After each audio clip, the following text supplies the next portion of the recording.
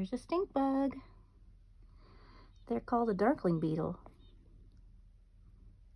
But they smell bad.